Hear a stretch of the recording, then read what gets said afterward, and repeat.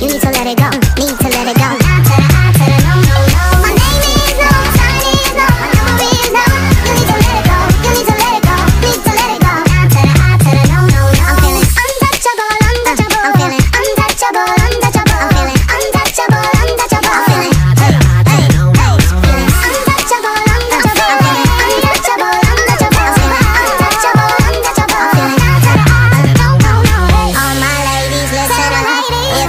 To the I